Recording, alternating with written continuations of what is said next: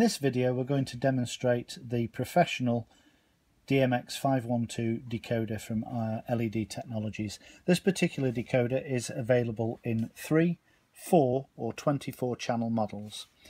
As you can see on the rear panel you have a DMX input on an XLR socket and an output.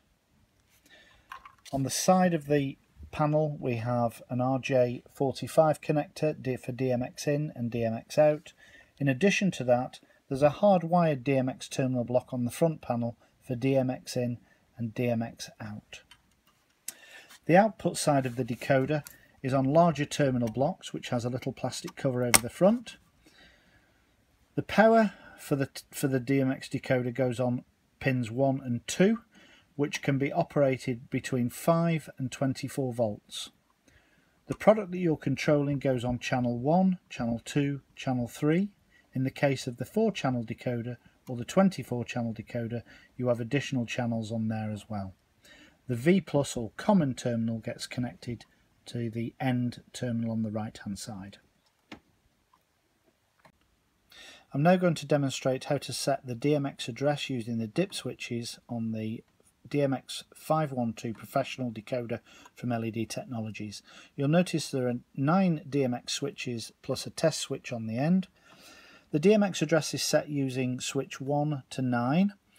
You'll notice that each DMX uh, switch has a value associated with it. So switch 1 has a value of 1, switch 2 value of 2, switch 4 has a value of 8, 16, 32, 64, 128 and 256.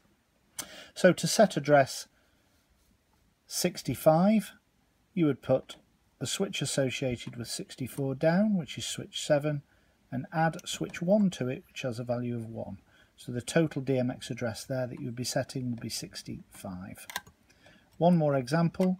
To set address 13 you could do this using a combination of switch number 4, which has a value of 8, number 3, which has a value of 4, which would give 12, and switch 1, which has a value of 1, making a total combination of 13. In addition to the DMX address switches, you also have a test switch on the end. If you then press that switch and operate switches 1 to 9, this will enable manual selection of the various channels in addition to that, there are various fade and chase programs built into the unit, details of which can be found in the manual supplied with the product.